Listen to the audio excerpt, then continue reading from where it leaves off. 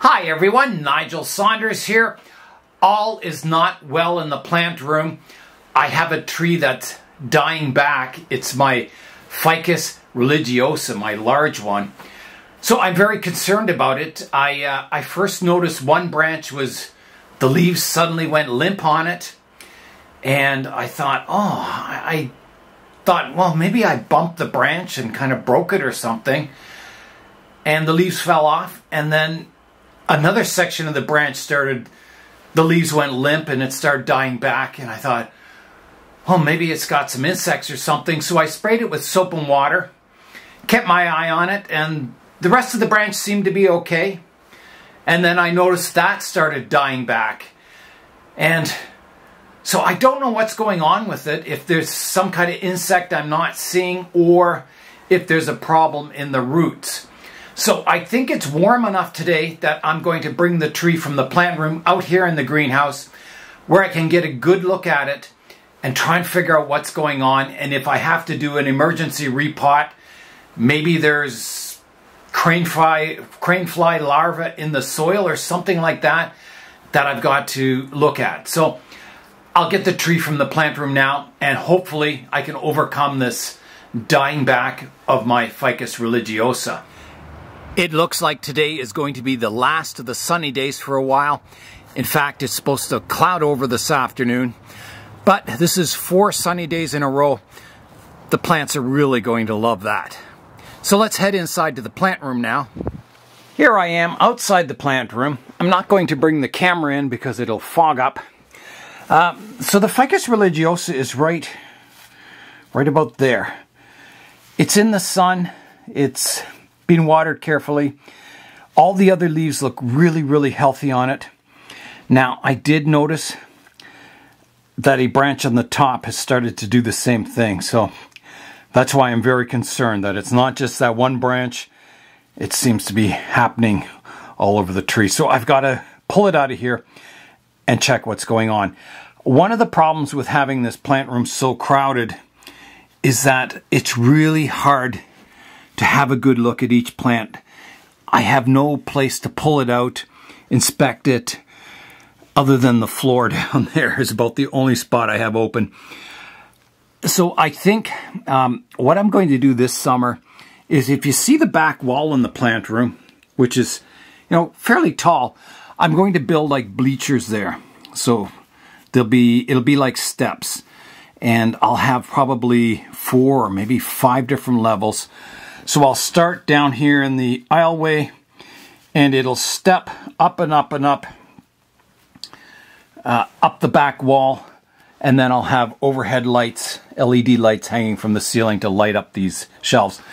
And I'll have a, a walkway up the middle so I can access the plants from both sides so I can water them and uh, yeah, make it uh, make it so I can access all the trees so they're not jammed in like this. I mean, I can't even walk down my aisleway anyway.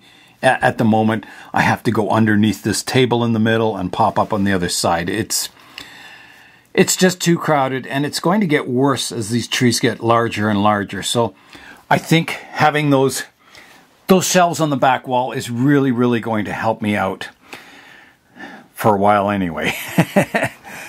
uh, so I'm going to pull out the tree my Ficus religiosa, bring it out to the greenhouse. It's above freezing, and we'll have a good look at it. Check it over for insects. I'm going to pull the moss off the soil, check the soil over, uh, and figure out what's going wrong with this tree.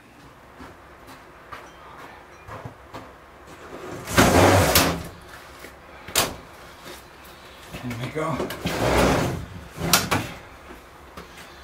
Okay, there's the tree. I've got the tree out here in the greenhouse. Now this is the side that I normally see. All the leaves are facing the other direction, so this is the sort of the opposite of the window side.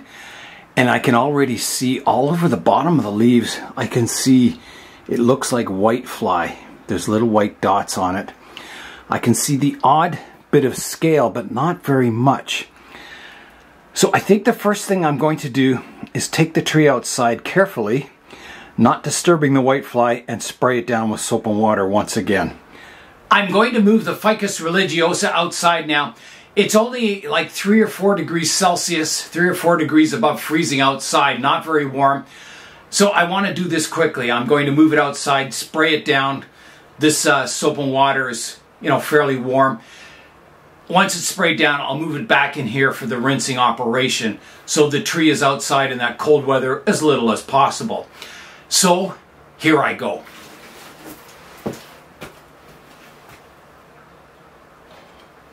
And I'll be careful with the tree not to disturb the whitefly. All right, I'll put it on the bench here, which is kind of in the sun. Get out my soap and water, give it a good spray down. All right, here I go.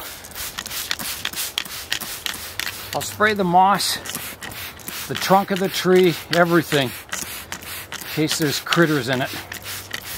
Do the back here. Underneath Trying to get all the leaf surfaces covered with the soap and water. Okay, and rotate it around for the last side. Like that.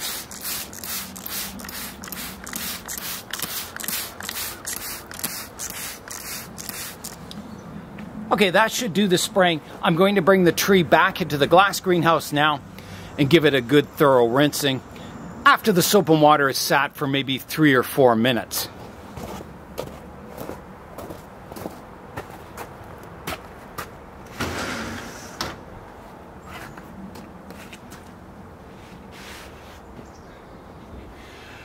I did lose that one hanging branch that I really, really liked. That was the first one to die back. I'm... oh well, let's see if we can save the tree and get it back to health. That'll be the next step. It's been three or four minutes now. I've let the soap sit on the tree. So now I'm going to rinse it down. So here I go. The rinse cycle. I'll rinse it top to bottom. Rotate the tree around so I get all the different sides of it. Rinse out the soil thoroughly. Okay, I think that's good. While all that water is draining onto the floor of the greenhouse, I'm going to have a look, an inspection of the tree. Uh, right away, I can see there is some scale insects uh, on some of the branches. Not at all places. It seems to be very isolated. But that'll be my next step is to really inspect it and start scraping off the scale insects that I see. Yeah, so I'm going to have to get out my scissors and scrape all those scale insects off. So I use, you know, just a pair of scissors and then I go in and I just scrape all the blisters. And I'll probably re-spray it with soap and water when I'm done this operation. I've been trying to keep my plant room cooler between 15 and 20 degrees Celsius over the winter. But all these sunny days we've been having lately, the temperature has really gone up in the plant room. Like it goes up to 30, sometimes 32 degrees. And that's with the heat off in the daytime and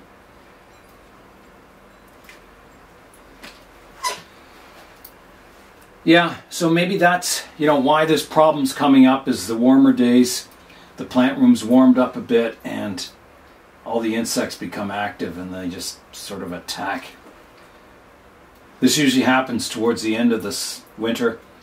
I get a lot of insect problems in the plant room.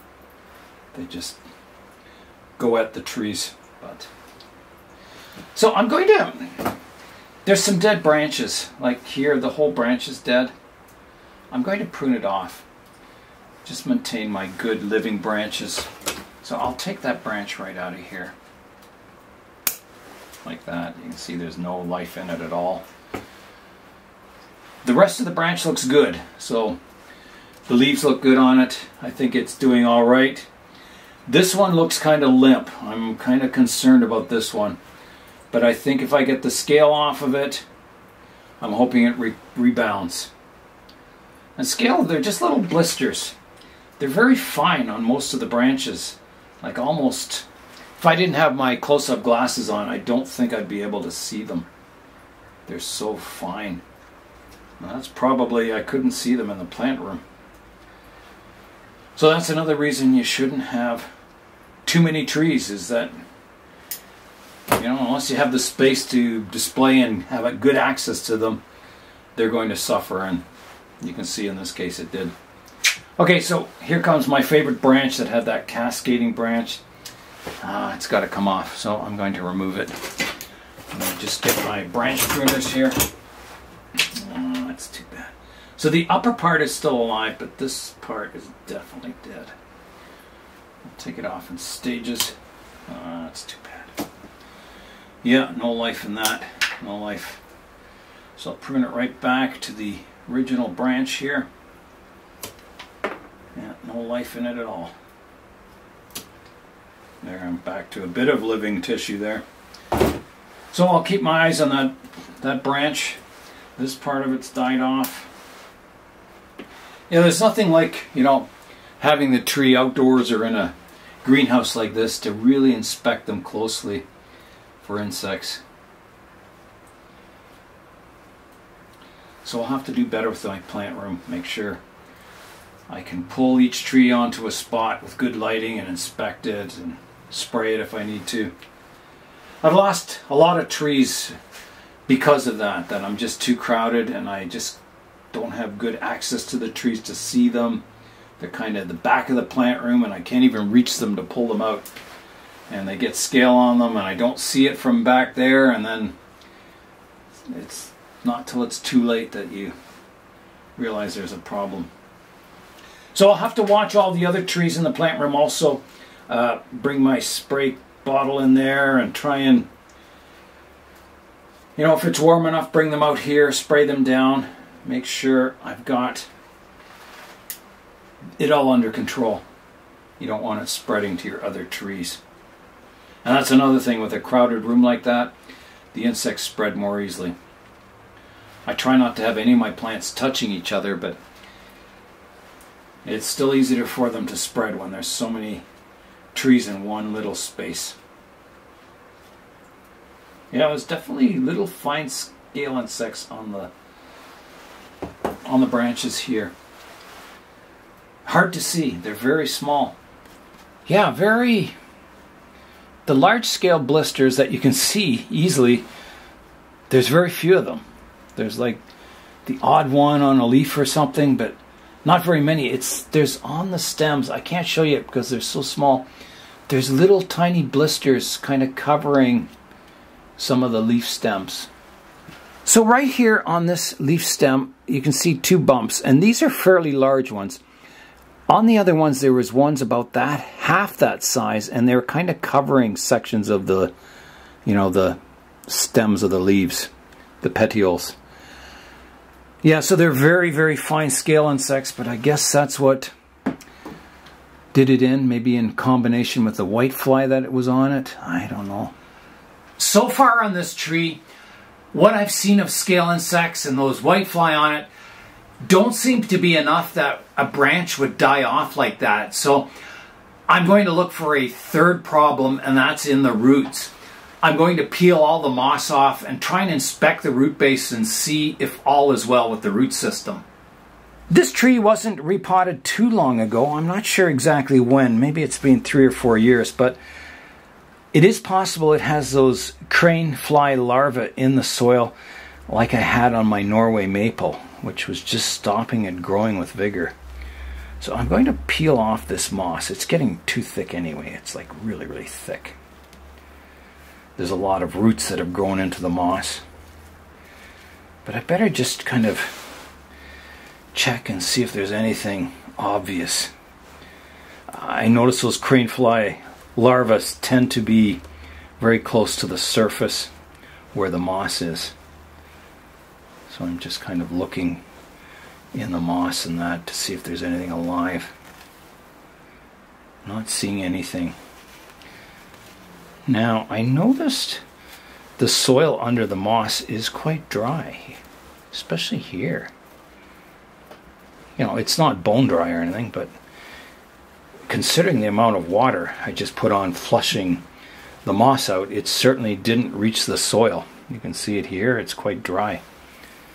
So maybe, you know, this moss was just too thick and it was blocking the water getting to the root system. Maybe that weakened the tree also. There's a good possibility of that. But it just wasn't getting the water. You can see it really dry here, yeah.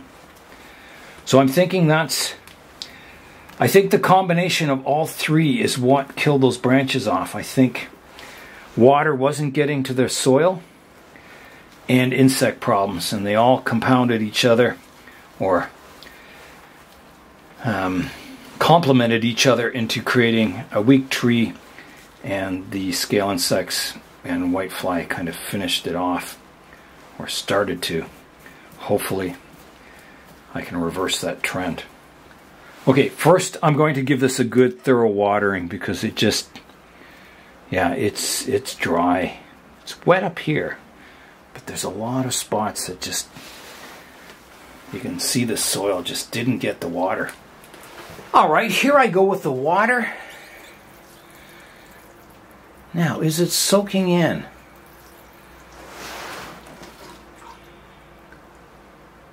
It is. It's draining. So I think, I think, you know, it doesn't need repotting. I don't think it's root bound.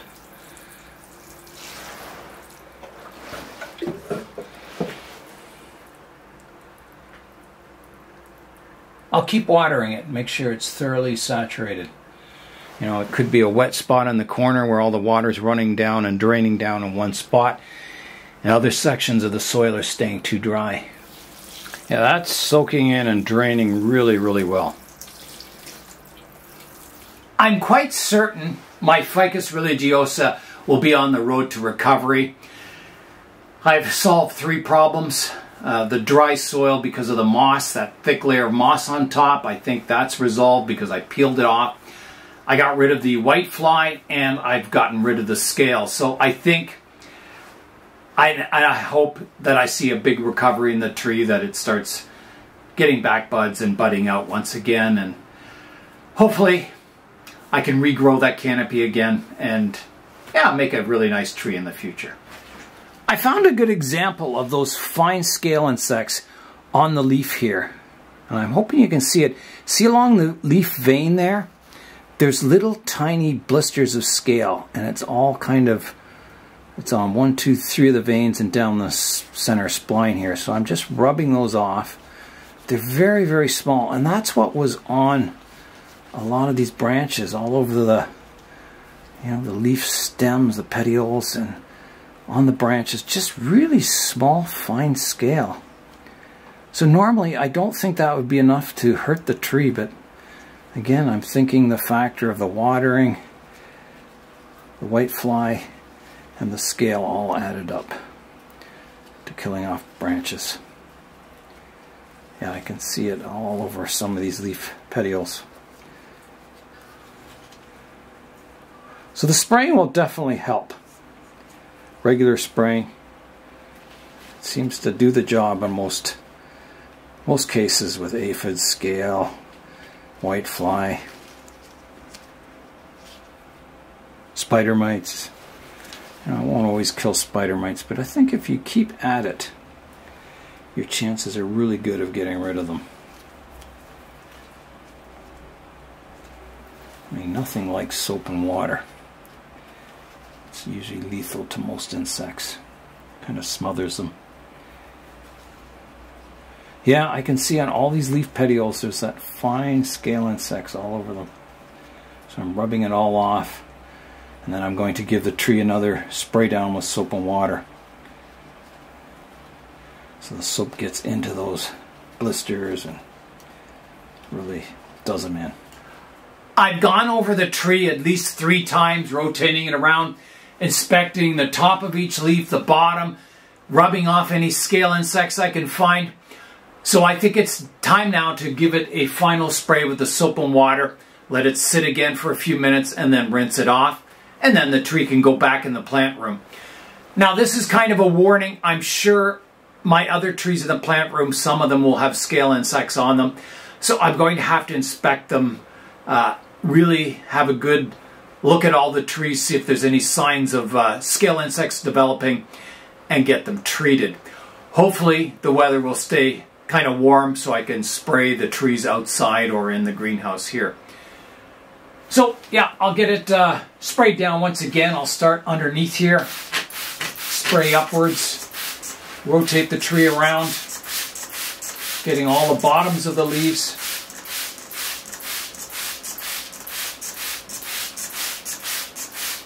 Then I'll come above, spray from the top, rotating it around. And then do the soil surface. You can even spray the pot. There might be insects crawling on the pot. You never know. Okay, so that's thoroughly sprayed down. I'll let that sit for a while and come in and rinse it all off. All right, it is time to give the tree a good rinse once again. So I think it's time to take the Ficus religiosa back into the plant room and I'll have to be very, very careful that I look at all my other trees and check for scale insects and treat them.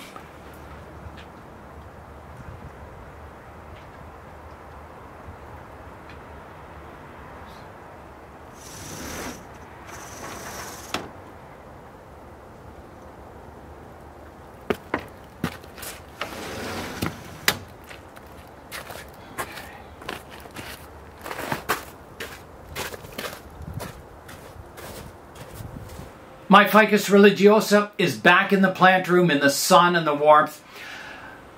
I think if I had left that problem any longer, it may have killed the tree. So I think I got it just in time. The rest of the tree looks really healthy. It's a shame I lost those branches, but I'll just have to grow new ones in their place. So that is all for today. I'm Nigel Saunders. Thanks for joining me in the Bonsai Zone.